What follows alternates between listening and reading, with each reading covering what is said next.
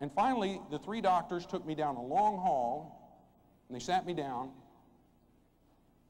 and they said, Jim, we're not sure why, and we're not sure when, but we do know that someday you're going to be totally blind, and there's not one thing we can do about it. And your whole world just stops. I didn't know what I was going to do. So I just went into my famous denial phase. I just acted like it was never going to happen because I couldn't deal with it. You ever know anybody, they can go about 80 miles an hour straight toward a brick wall and they act like nothing bad is ever going to happen in their life? Well, that was me. Had a marvelous capacity for burying my head in the sand, so I just went on to college. Now, near where I went to college, there is a school for blind children. And to this day, I don't know what my motives were. I don't know if I was trying to make a deal with God or help out or learn more about it or what. But I went over to this school for blind children and I met with the principal. And I said, Look, I'm 17 years old. I have no background, no training, no experience in working with blind kids, but I'd like to teach here. Well, you can imagine how excited they were to see me. Oh, yeah, here's the guy we've been looking for right here. But they did say, Jim, if you're really serious about this, we do have one kid you can kind of work with one on one. I said, I was kind of thinking of having my own class, actually. And they said, Jim, you either work with this one kid or you get out of here. I said, okay, what do I teach this kid? And they said, Jim, that's just it. Christopher is four years old. He's totally blind. He has a lot of other physical problems. And we have determined, we have determined, that he's never going to grow or learn or advance or develop any more than he already has. So what we want you to do is keep him quiet and keep him away from the other kids so at least they can learn their lessons because Christopher will never learn any more than he already has. Ladies and gentlemen, don't you ever forget that we always, we always live up to the expectations we have of ourselves or those expectations that we allow other people to place upon us. Thank you.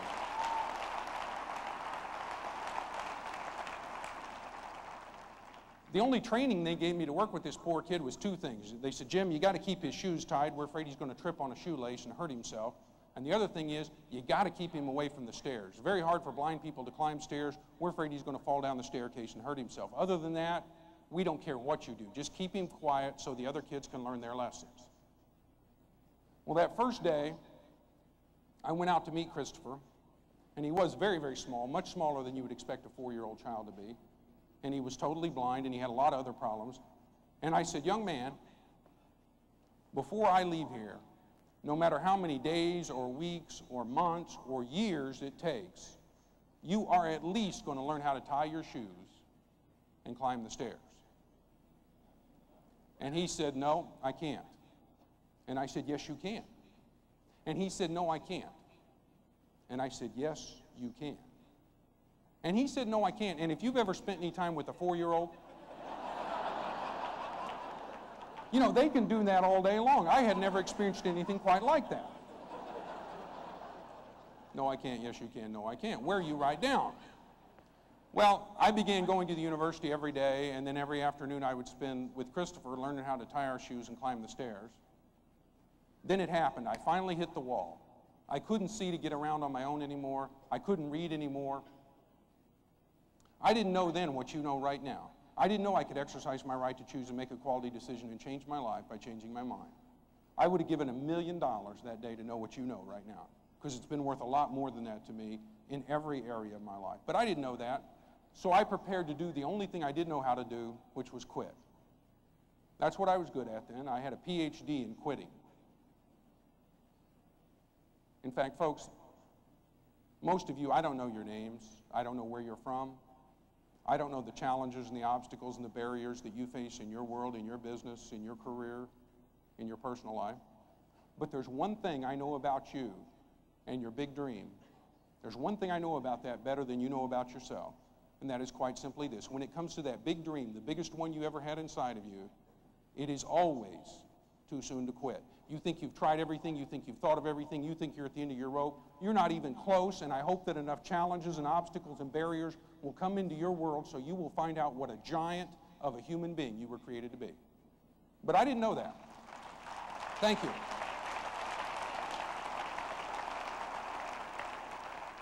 But I didn't know any of that. So I prepared to quit. I went over to school for the, uh, the school for the blind kids for what I thought would be my last day. I got there early and I met with the principal. And I said, Look, I'm going to have to drop out of college. I can't come here anymore and volunteer to work with Christopher. This will be my last day because I just can't make it.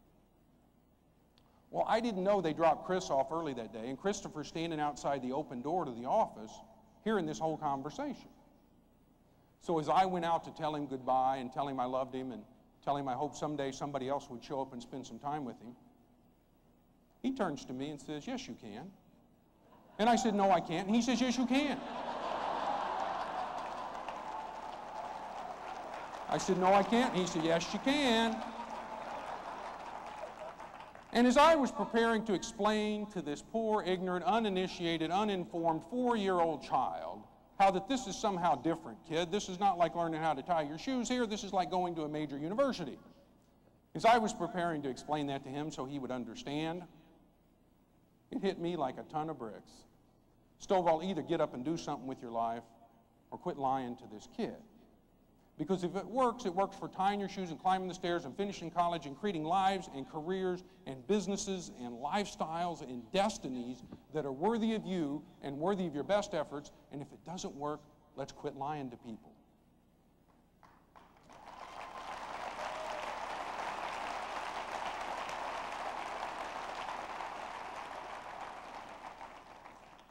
Three years later, I graduated from that university with honors and two degrees.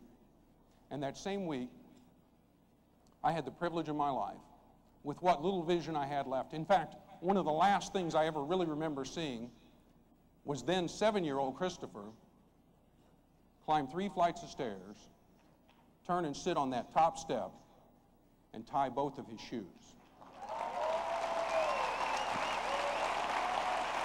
Thank you.